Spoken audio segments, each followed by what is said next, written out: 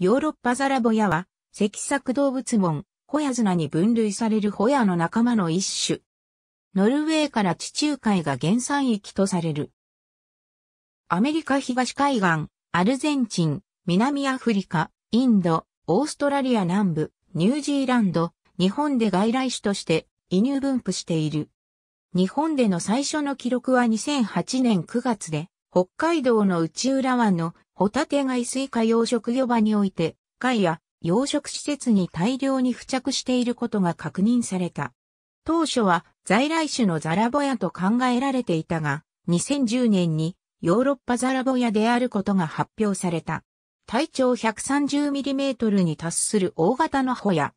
単体性で長官体から50メートルまでの水深に生息し、波の弱い湾の入り江や港内など旋回域で多く見られる。私有動体。